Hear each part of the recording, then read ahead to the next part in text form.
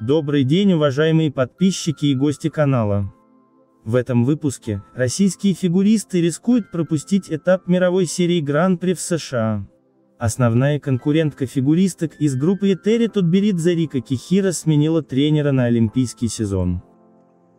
Российские фигуристы Александра Трусова, Дарья Усачева и Даниил Самсонов рискуют пропустить этап мировой серии Гран-при в США из-за проблем с выдачей американской визы.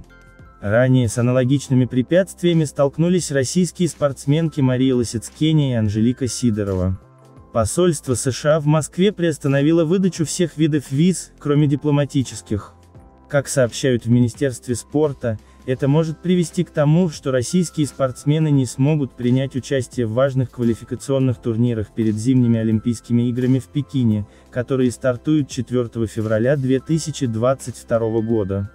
Информацию о том, что у российских фигуристов существует проблема с получением виз, подтвердил генеральный директор Федерации фигурного катания на коньках России Александр Коган.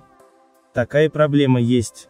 Федерация делает все возможное, чтобы фигуристы выступили на этапе Гран-при Скейт Америка, сообщил Коган. В составе женской сборной России на этапе Гран-при должны выступить Александра Трусова, а также дебютантки взрослого сезона, Дарья Усачева и Ксения Синицына. Помимо них на соревнования заявлены японки Каори Сакамото и Сатока Миахара, а также хозяйка соревнований Брэди Теннил и кореянка Ян Кью, которые могут составить серьезную конкуренцию россиянкам. У мужчин должны выступить Артур Даниилян и Даниил Самсонов. В спортивных парах заявлены Александра Байкова и Дмитрий Козловский, Алина Пепелева и Роман Плешков – а также Евгения Тарасова и Владимир Морозов.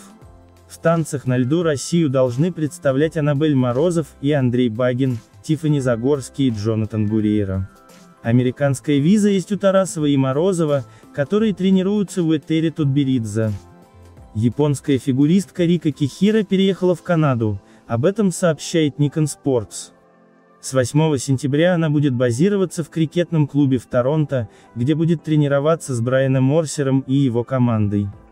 Я очень рада стремиться к зимним Олимпийским играм в Пекине в 2022 году под руководством тренера Брайана Орсера, который воспитал многих ведущих фигуристов. Кроме того крикетный клуб Торонто, который будет местом тренировок, является отличной средой с прекрасными удобствами, сказала Кихира.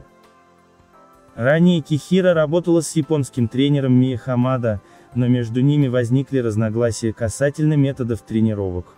Брайан Орсер тренирует двукратного олимпийского чемпиона японца Юдзуру Ханю. Кроме того, под его руководством какое-то время тренировалась серебряный призер Олимпиады, россиянка Евгения Медведева.